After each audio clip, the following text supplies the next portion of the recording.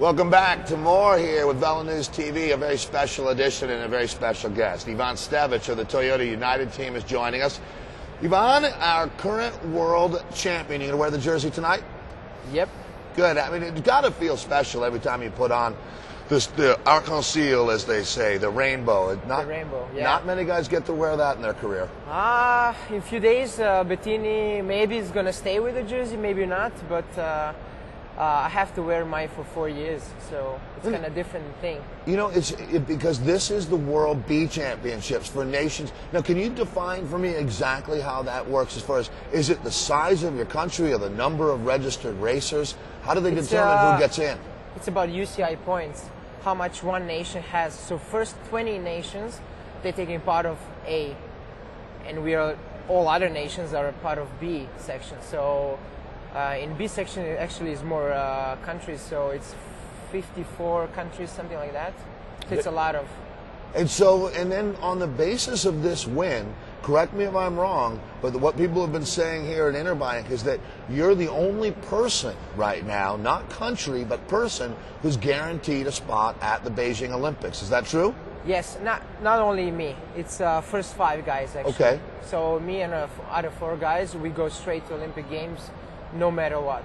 Well, that's interesting because that means almost that just getting in that top five, that battle between fifth and sixth must have been pretty intense out there. It, it was, it was because uh, the break that I was in, it was more than uh, four guys. So you know, it was a kind of big battle on the back. So I didn't want to take a chance. The last time I did the the, the B Worlds, I got second behind uh, Murilo Fischer. Uh huh.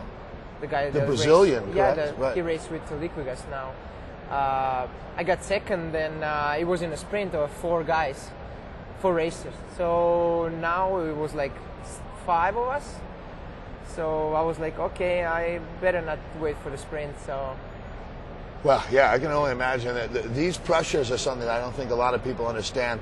That in the back of your mind while you're racing, sometimes there's these objectives. But you know, I want to take a step back in your career before you were racing in America and before you were even a professional. Now, first off, is you're a Serbian and you'll be representing Serbia at the Olympic Yes. Games, and you've worn the national champions jersey the last couple years over here in America.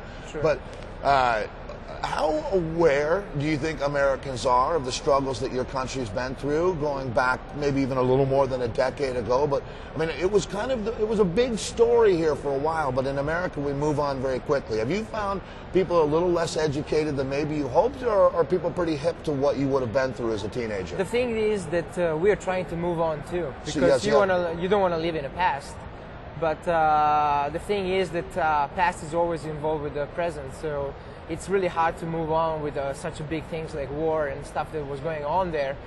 Uh, you know it's experience when uh, you look back you look you're lucky you're alive and you're like okay everything can happen in a life so you have to be prepared. So that's one of the, the things you have in mind always. So everything else is like uh, not that hard.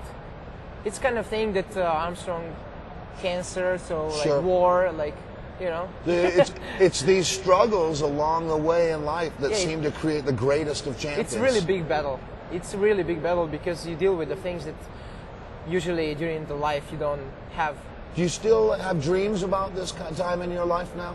I had really a hard time uh, back in the days, but I have to be honest. Lately, I'm not not having that. You know, when you pick up the life in a different way, and especially when you're not there, you don't live there, you Sure. don't have that uh, special feeling. But sometimes it's coming back. Like we get together, we're like friends, and we talk, and sometimes you go back on that. Uh, you remember someone who's not with us? yeah, so it's it's sometimes it gives you a hard time, but most of it, you know, like you're trying to be positive and like go on, you know, with your life, and uh, that's only way to go. Well, I think there's no question when you talk to people who uh, watch Ivan Stevic racing out on the national racing circuit or winning stages at races like Nature Valley Grand Prix or Tour de Georgia. That was one heck of a win this year.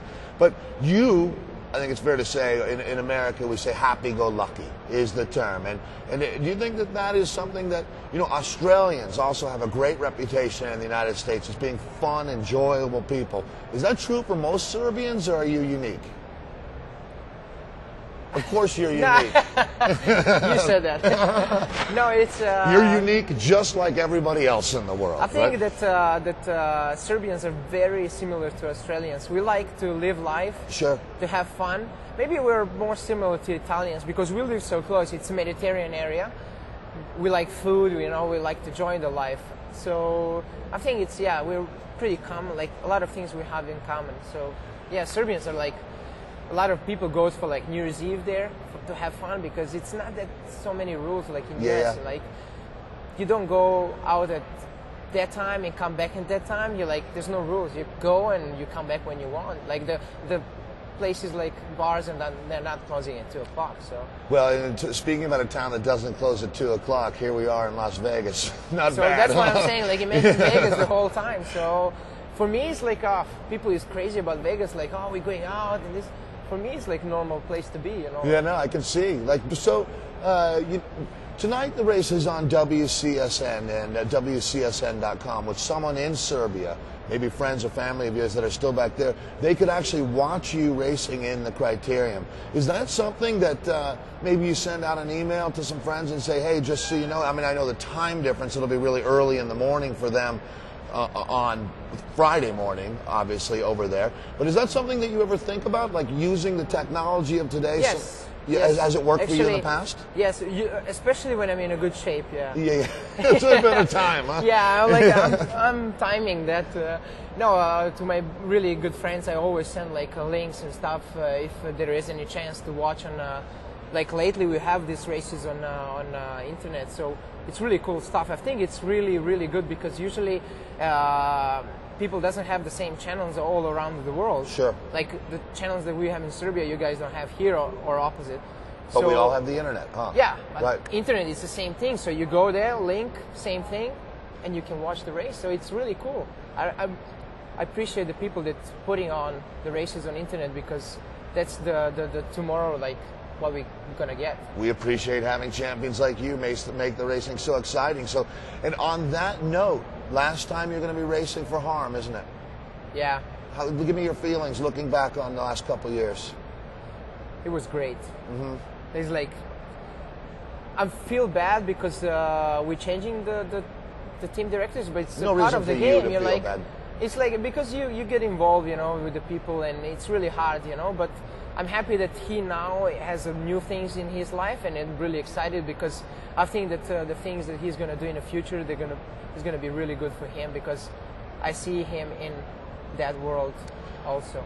Well, on that note, I think that's a nice way to say goodbye. And I know you got a big race coming up tonight, so we'll look forward. I mean, I think it looks like a good race for you. So for Ivan Stevic, I'm Dave Towle. We're going to bring Tim Helian from the Tour de Nez out next. As thank you for tuning in to Vela TV in this very special edition. And thank you, Ivan. Thank you guys.